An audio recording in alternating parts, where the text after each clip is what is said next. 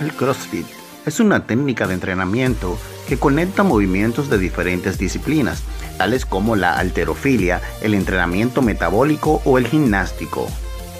Consiste en llevar un programa de ejercicios en un tiempo determinado y con un número definido de veces.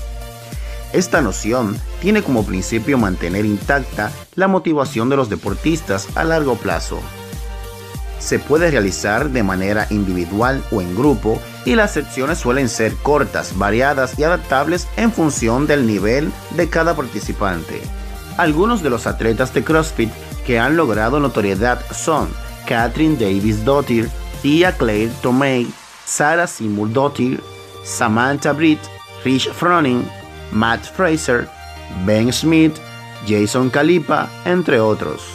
En 1974, un estadounidense universitario de 18 años llamado Greg Glassman, que también trabajaba con varios atletas en gimnasios del sur de California, creó un programa de entrenamiento basado en los movimientos funcionales realizados a alta intensidad en vez de las rutinas al uso.